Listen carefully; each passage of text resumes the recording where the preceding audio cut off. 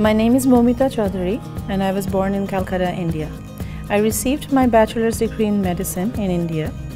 I decided to pursue research and came to Oakland University to earn my master's in biomedical sciences.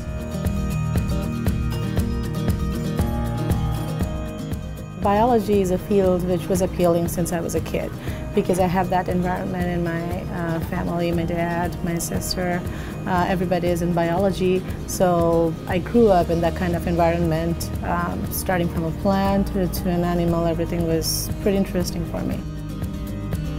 Now, this is your muscle. As we can see, we have circular muscles inside and longitudinal muscles outside.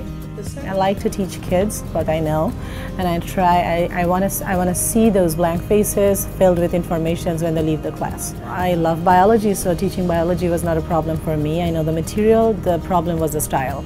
So there came the CETL, which is Center of Excellence in Teaching and Learning, and they helped me uh, because I was from a different country. I didn't know the style of teaching in this country that much, so they helped me a lot. I met other international students here in the department, also in the library, in the campus, and we all make a nice group and we hang around together. We uh, chat sometimes, and when it's a problem, uh, we can share our thoughts because all of us are going through the same phase of life. Look into which field you want to go to first. Look into the mentors you want to choose for the rest of your studies here. Any other international students coming to Oakland, they should be very comfortable because it's an awesome place to begin your life.